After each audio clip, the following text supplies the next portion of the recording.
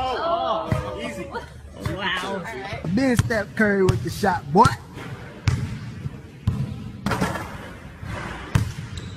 Hey.